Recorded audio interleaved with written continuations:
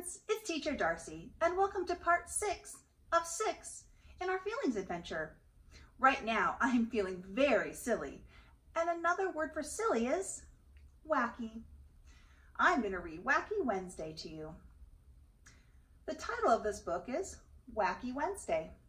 The author, the person who wrote the book, is Dr. Seuss. Illustrated, he did the pictures, George Booth. It all began with that one shoe on the wall. A shoe on a wall shouldn't be there at all.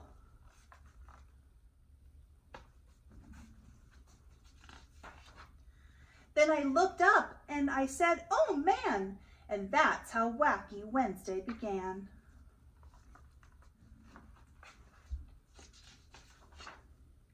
I looked out the window and I said, gee, more things were wacky, and I saw three.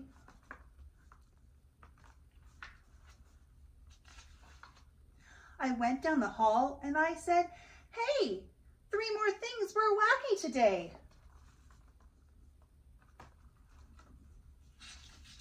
Have you seen anything wacky? In the bathroom more? In the bathroom four.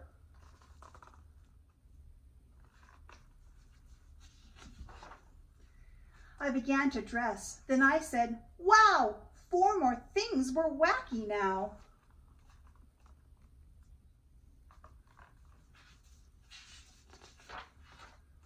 I looked in the kitchen. I said, by cracky, five more things are very wacky.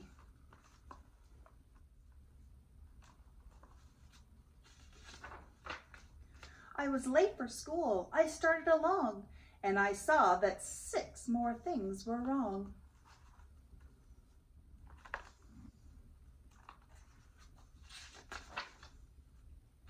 And then seven more?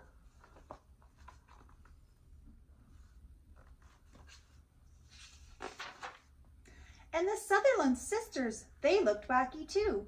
They said, nothing is wacky around here but you.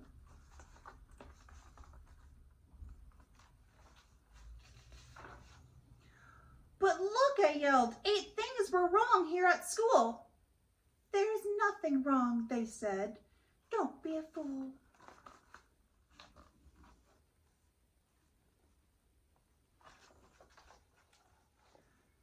I ran into school. I yelled at Miss Bass, look, nine things are wacky right here in our class.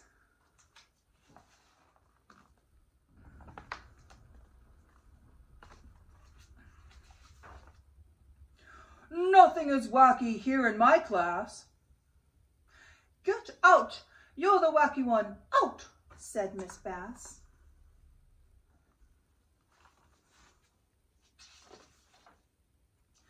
I went out the school door. Things were worse than before. I couldn't believe it. Ten wacky things more.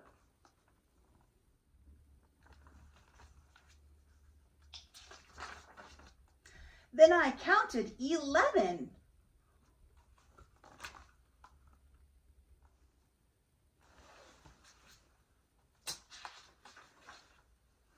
Then 12 worse things. I got scared and I ran. I ran and knocked over Patrolman McGann.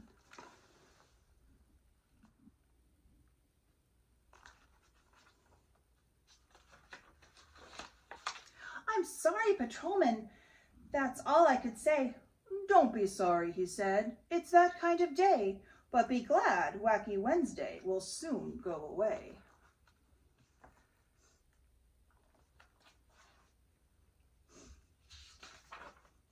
Only 20 things more will be wacky, he said.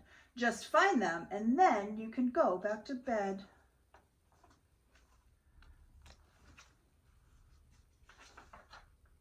Wacky Wednesday was gone. Then I counted them all, and I even got rid of the shoe on the wall.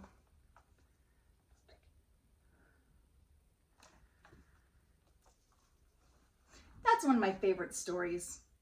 Be safe, be healthy, and remember, you're so very loved.